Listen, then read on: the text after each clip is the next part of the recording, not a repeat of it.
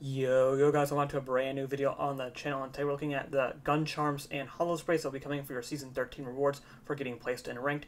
If you want to see the dive trails and badges, check out my latest video card above for that. But enjoy all the new gun charms and holosprays for your rewards for getting placed in ranked. But until next time guys, peace.